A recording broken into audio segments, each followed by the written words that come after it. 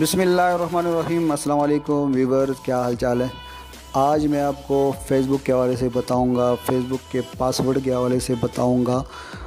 Face بک جو ہے، یہ دنیا کا سب سے بڑا اپلیکیشن ہے اور دنیا کے ٹو پوائنٹ فائیو بلین لوگ جو ہے فیس بک کا استعمال کرتے ہیں اور پاکستان کے اندر تھرٹی فائیو ملین لوگ فیس بک کا استعمال کرتے ہیں اور ان کے مختلف مقاصد ہے، کوئی بزنس کے لیے، کوئی اور مقصد کے لیے فیس بک کا استعمال کرتے ہیں، لیکن پریشانی تب ہوتی ہے جب ہم اپنا فیس بک پاسورڈ جو ہے لاگنگ پاسورڈ وہ بھول جاتے تو پھر مختلف طریقوں سے لاگنگ ہونے کی کوشش کی جاتی ہے، لیکن یہ کہ جب تک آپ صحیح پاسورڈ ڈائل نہیں کرو گے، تو فیس بک کی آئی ڈی لاگنگ نہیں ہوگی۔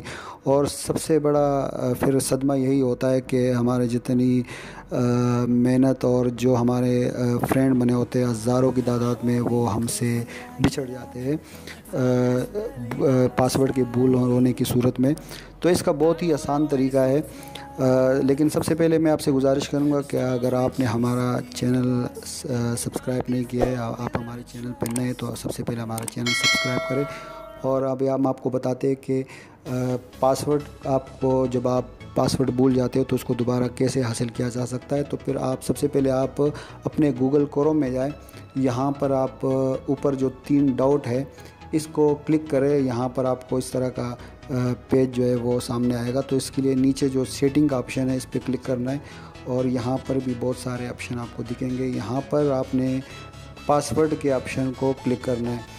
یہاں پر دیکھیے جتنے بھی آپ کی فیس بک آئی ڈی ہے اور نمبر ہے، سارے جس نمبر پہ بنے ہوتے ہیں، وہ سارے یہاں شو ہوں گے اور جس کو جو آئی ڈی اور جو پاسورڈ آپ کو لینا ہے، اسی پہ آپ نے کلک کرنا ہے اور یہ اس طرح آپ کو شو ہو جائے گا۔ لیکن جب آپ اس کو کلک کریں گے پہلی فرصت میں آپ سے یہ پاسورڈ مانگے گا یہ وہ پاسورڈ ہے جو آپ کے اسکرین لاک پہ لگا ہے۔